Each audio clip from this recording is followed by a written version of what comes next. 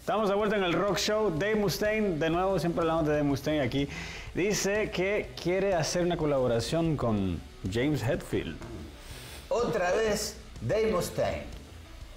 Ya estamos hartos de Dave Mustaine. No. Eh, eh, era una noticia que había que dar. Sí. Porque primero no le íbamos a dar esta noticia. Dijimos, estamos hartos de Dave Mustaine.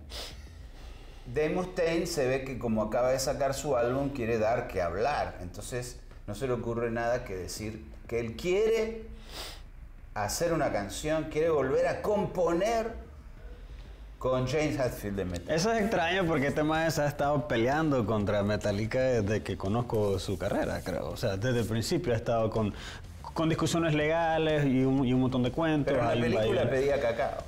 ¿En cuál? En, En una película que sale, sale con Lars y él ah, llora. en, en ¿Por Some qué- Kind of Monster. ¿Por qué me sacaron? ¿Por qué me sacaron? Y lloraba, y lloraron los dos. No, pero todavía se siente que hay un cierto Eh. rencor ahí de Dave Mustaine desde toda la vida, así que creo que así va a ser para Pero, toda la vida. no, claro, él tiene el rencor, pero es como amor y odio.